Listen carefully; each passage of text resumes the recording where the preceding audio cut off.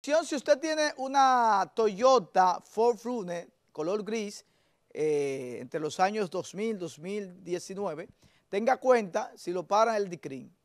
O sea, párese porque están buscando activamente a, una jipeta gris que supuestamente en una entidad bancaria, en el Banco Popular, eh, rompió un cristal y se llevaron 3 millones de pesos. Por ejemplo, yo venía ahora, ahora, venía para el canal, señor director me pone las imágenes, eh, yo tengo una cámara que le aconsejo a todo el que tenga un vehículo que compre una cámara de video para su vehículo.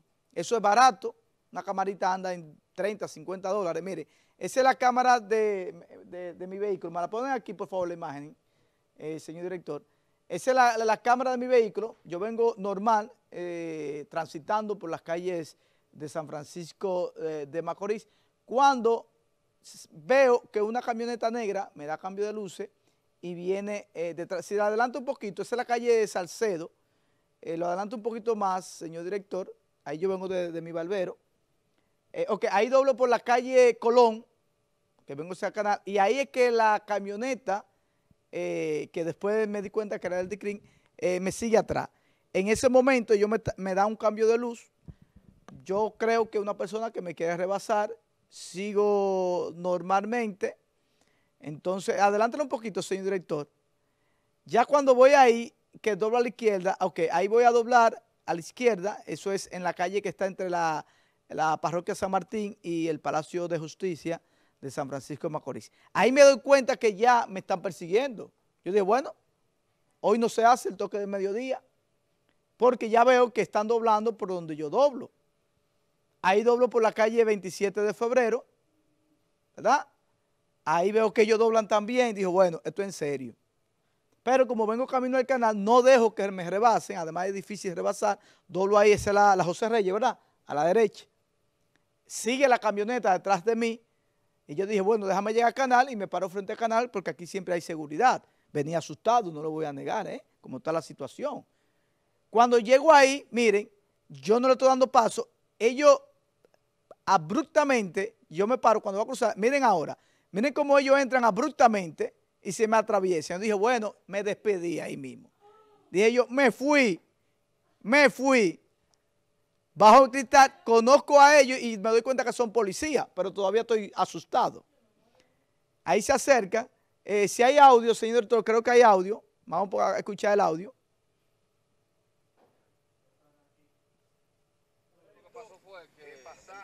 Sí. Me tiran fotos de todo. Ahora, yo quiero saber para qué esa foto. Si hay audio, señor director, por favor, que hay audio, porque eh, creo que la cámara graba audio. No sé si estaba en ese modo. Ok, vamos a darle para atrás eh, cuando, cuando, cuando... Tengo un hombre serio, un hombre serio, pero para que sepa yo, por eso fue que lo detuvimos. No hay problema. Ahí estamos escuchando, miren, eh, realmente, yo tengo, tengo la emisora, eh, a veces se le olvida a uno que uno tiene la, la, la cámara dentro del vehículo y, y, estaba escuchando casualmente la Z, que eh, frecuentemente la escucho, el gobierno de la mañana, y por eso ustedes escuchan a, la emisora y no se escucha claramente la conversación que tuve con los oficiales eh, del DICRIN. Ahora bien, eh, se tiraron, tiran fotos y todo. Hago esto porque uno no sabe. Porque ellos me dieron esa explicación. No sé si es cierta o no, pero se me tiran. No sé si un seguimiento de algún enemigo o de alguna gente o de algún político, de alguien que uno haya mencionado en este espacio y que se sienta aludido. Entonces lo hago públicamente porque uno no sabe. Para después si pasa algo, ¿eh? porque me lo encontré muy extraño, porque realmente una persona que rompe un cristal de un vehículo y se lleve 3 millones de pesos, no va a andar un vehículo tranquilamente como venía yo, transitando en la ciudad. La única explicación que me dio el oficial fue que la única diferencia era que el vehículo que supuestamente hizo esto no tenía placa. Entonces, eh, el vehículo mío tiene su placa, o sea, es un vehículo que no anda o, eh, nada extraño. Me lo encontré sospechoso. Realmente, y por eso lo estoy haciendo público. A las autoridades que tengan que investigar si verdaderamente esa historia es así, que un vehículo igual que el mío eh, hizo un robo de 3 millones de pesos, que me lo hagan saber. Porque me lo encontré sospechoso que en pleno centro de la ciudad se me tiraran de esa forma, supuestamente confundiendo un vehículo. Porque si eh, eh, en la DGI usted entra con una aplicación que la policía tiene ese mecanismo, entra a la aplicación de la DGI y usted puede consultar la placa y le va a decir de quién es el vehículo, a nombre de quién está y, todo. Mi vehículo está a nombre mío, no debo un peso, o sea que la matrícula está a nombre mío, no tiene ninguna oposición ni nada, y lo pueden investigar. Pero me encontré extraño esa, esa actitud y esa acción del DICRIN. Sí fueron, tengo que decirlo, fueron muy decentes. Ahora, uno de ellos en el video se escucha, cuando yo bajo mi cristal, me reconoce, me dice, ah, eh, eh, él es de que tiene el programa en Telenor. Yo, sí, el toque de mediodía, voy para allá ahora. Ah, no, está bien, me dieron la explicación. Explicación que reitero, me la encontré extraño. ¿Qué es lo que tú dices? No, no, eso no es rutinario, viejo. Mira, te soy sincero, te soy sincero, te soy yo hubiese andado con otra gente o algo que tuviera armada y ahí pudo haber pasado una desgracia. Yo lo que pasa es que reconocí eh, a, uno de los policías que tiene mucho tiempo en ese departamento y lo reconocí y me quedo tranquilo, pero pensé que era un atraco o un asalto. De verdad que ahí mismo yo dije, bueno, no hay toque de mediodía hoy. Lo que me, me extraña es que en medio de la ciudad, a las, ahí está la hora, las 10.51, o sea, abruptamente, el, rebase que me hicieron y todo eso. Porque ellos debieron de esperar que yo llegara a donde iba, porque ahí mismo yo estoy llegando aquí a Telenor. Pudieron haber esperado. Vamos a ver dónde el tipo se parquea, hacia dónde que va, y hubiese sido más bonito entonces el show. Pero incluso pudo haber ocurrido un accidente y pudo haber ocurrido una desgracia, les reitero, yo hubiese andado armado o una gente que ande conmigo armado y como está, y como está este asunto, uno lo que le va a entrar a tiro creyendo que son atracadores. dámele audio aquí a, a, Arimendi. Que, que quede en alta Arimendi, eh, aunque trabaja para este medio, pero la popularidad de Arimendi está llegando ahora en el toque del mediodía, para que después no agradezca que yo soy tu papá. Fíjense, señores, eh, este tipo de acción la policía lo hace ya conjuntamente con un trabajo de inteligencia, eh, ya cuando hay, por, ejemplo, acción rápida, como se le conoce, eh, usted sabe que cuando hay robo de esta naturaleza, mayormente las personas hacen la denuncia y la policía inmediatamente procede a darle seguimiento al vehículo en el que se cometió el hecho. En este caso, por ejemplo, eh, un vehículo con las mismas características tuyas.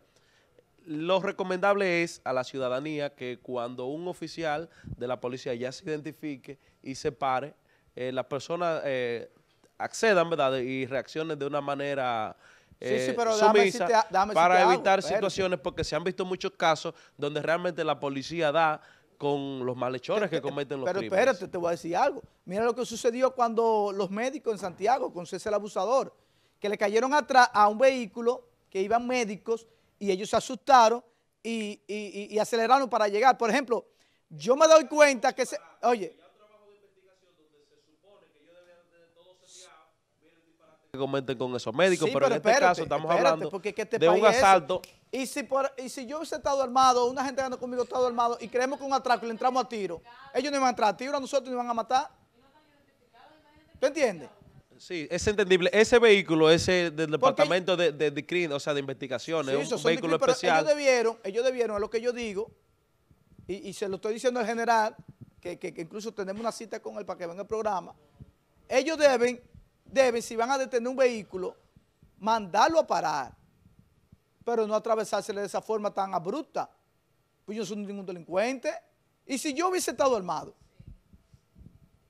como está la situación ahora, y yo jalo una pistola y yo me iban a tiro, ahora tuvieran ustedes eh, juideros llorando, que gracias a Dios este mes se va, que ha sido un mes eh, de desgracia.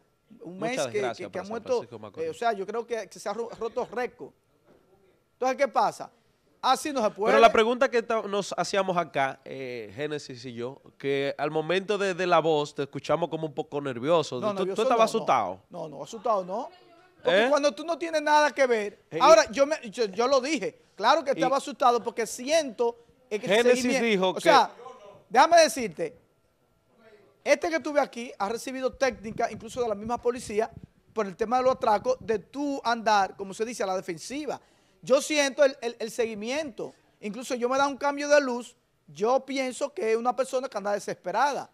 Yo sigo mi ruta, no a mi velocidad normal, pero veo que el vehículo dobla por donde quiera que yo doble. Ya yo digo, hay un seguimiento. Entonces, como yo vengo hacia el canal y aquí siempre hay seguridad frente al canal, yo doblo y digo, bueno, como yo voy al canal me tengo que parar, ahí yo me doy cuenta si son atracadores, que fue el primer pensamiento, yo pensé que eran atracadores. Entonces, sigo normal cuando eh, eh, ellos ven la oportunidad, se atraviesan abruptamente, que ahí está en el video, que es donde yo digo que está mal por ellos, porque se atraviesan y, y se tiran. Ahí yo reconozco a uno de ellos y sé que la policía, no es que no se me van los nervios, porque yo digo, espérate, porque sabemos que hay policías corruptos, en el caso de ellos no, ellos fueron personas muy decentes, reitero para que ahorita no digan lo contrario, fueron muy decentes, pero no deja de asustar como está la situación en este país, ¿eh? donde por un quítame esta paja te quitan la vida, entonces yo hago así y, y me sorprendo, ellos se acercan a mí, comienzan a tirar fotos, no sé para qué, Imagino que las Porque, eh, fotos, no- las fotos las hacen con el objetivo, sup- suponiendo, ¿no? Que ya como se da la alarma, ellos eh, deben de dar No, un no, yo- reporte yo- yo a un ahora, superior cuando- de que realmente están eh, dándole cabida a Cuando esa pase el denuncia. programa, yo voy a llamar a general porque yo necesito una explicación. Necesito una explicación. ¿De por qué la foto? ¿Por qué te, No, por- no, la foto no. La foto no. O sea, el por qué detuvieron mi vehículo. Pues, ok, se parece, pero el vehículo mío tiene placa. ¿Tú ves? Entonces, eh, no, de verdad, no que me sentí, porque ellos fueron muy decentes, me, me explicaron, pero yo quiero saber si es verídica esa versión. Punto. O sea, lo que yo quiero saber, si es verídico que en el Banco Popular, en el día de hoy, rompieron los cristales de, de- de un vehículo eh, y se llevaron 3 millones en una jipeta igual que la mía. Si me confirman eso, yo estoy tranquilo. Y si el general me está viendo o algún miembro de DICRIN, que me confirmen si hoy rompieron los cristales en un vehículo en el parqueo del Banco Popular y supuestamente los ladrones andan en una Land Cruiser color perla, plateada. Si es cierto, yo estoy tranquilo. Ahora, si esa información no es cierta, ya me asusta. Eso es lo único.